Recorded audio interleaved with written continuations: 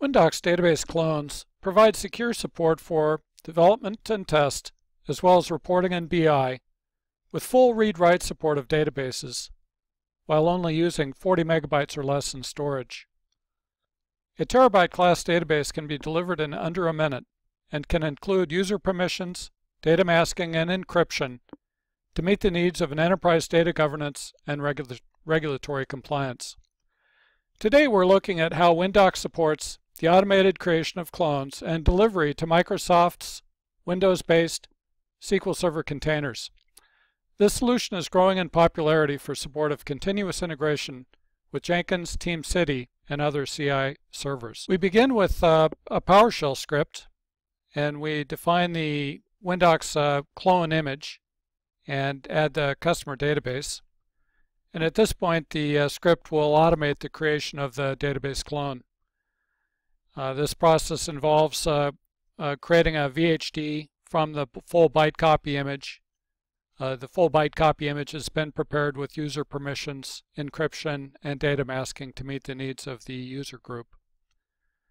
And this will be delivered, and at that point we can parse the uh, file paths to the clones, uh, spin up the Microsoft SQL Server container, and mount the databases to it. Okay, the container is now available I'm operating on a, uh, a local lab, sign the host port and the IP address, and uh, we use SA passwords to support the SQL Server containers. And I'm going to build this with the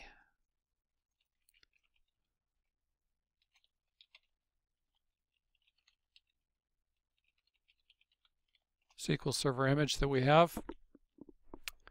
And within a few seconds, we'll have the container provisioned and mounted to the uh, databases. And there you have it. Uh, the environment has been delivered. It's just taken a few seconds to create the uh, database clone and uh, the associated container and deliver a running environment.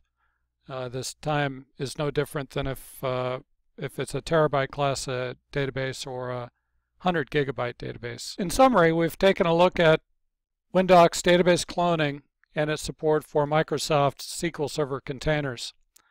Uh, Windocks is also being used to support the delivery of uh, cloned databases to conventional SQL Server servers and workstations.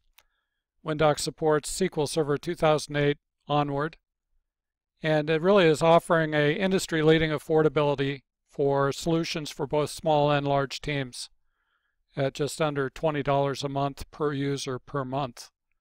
Uh, check it out. Uh, you can visit the Windocks website and download your own free community edition of Windocks at www.windocks.com. Thanks for joining us today.